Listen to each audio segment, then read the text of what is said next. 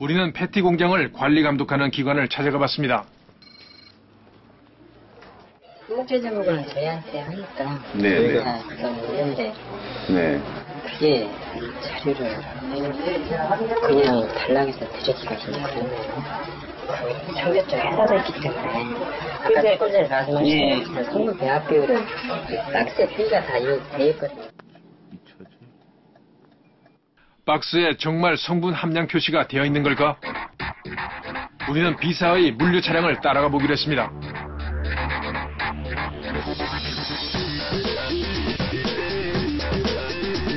한참 후 지방의 한 도시에 정차합니다.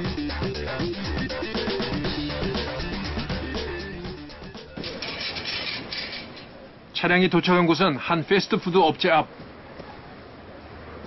직원들이 한대 나와 다 같이 박스를 옮깁니다. 박스에 과연 성분 표시가 되어 있을까?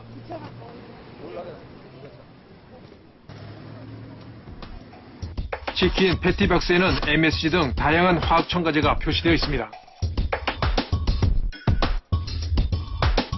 결국 우리는 한우 패티 박스는 찾을 수 없었습니다. 그렇다면 박스를 처리하는 폐지 수집소에 가면 성분이 적힌 박스를 찾을 수 있을까요? 하지만 이 많은 폐지들 사이에서 박스를 찾는 일은 쉽지 않았습니다. 이때 박스 더미를 들어 올리는 제작진, 뭔가 발견했을까?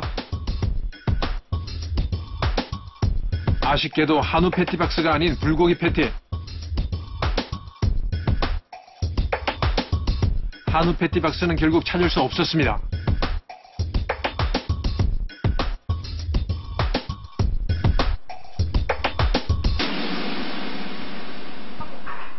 우리는 패스트푸드점의 주방을 다시 찾았습니다.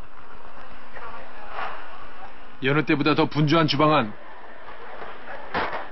마침 냉동창고 안에 상자가 놓여 있습니다. 무슨 상자일까? 냉동창고에 패티 상자를 옮겨놓는 남자.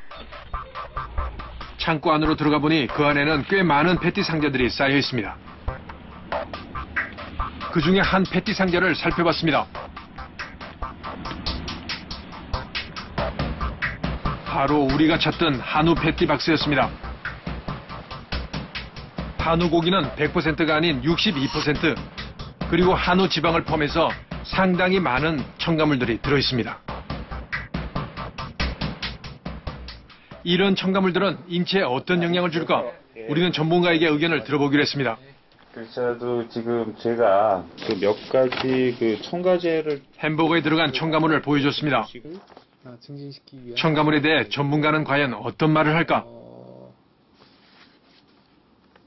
그리고 폴인산 나트륨이나 피로인산 나트륨은 인성분이 많은 걸로써 이는 반드시 흡수될 때 칼슘을 동반합니다. 무슨 말이냐면은 어, 칼슘 섭취가 덜 된 경우에는 뼈에서 칼슘을 가져오는 거죠. 그리고 또 인 성분이 너무 많을 때는 신독성이 있습니다. 콩팥이 나빠질 수 있다는 거죠.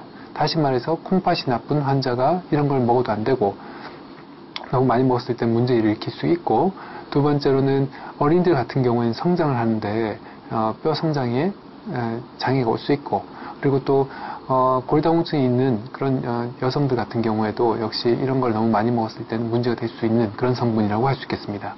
솔비산 칼륨이 염색체 이상을 일으킬 수 있고 카르멜 색소는 간이나 신장 장애를 유발할 수 있는 대표적인 색소죠. 그리고 안식행산 나트륨 같은 경우는 발암성이 의심되고 있는 저도, 저도 후회하는 거죠. 제가 이렇게 나쁜 음식이었다면 알고 있었다면 안 먹었을 거라는 거죠. 아 여기 첨가물을 보시니까 나쁜 음식이라고 그렇게 말씀 예, 예. 저는 이걸 보면 저는 나쁜 음식이라고 하지 절대 저 햄버거 좋은 음식이라고 말, 말을 할 수가 없겠습니다. 의사로서는 적어도.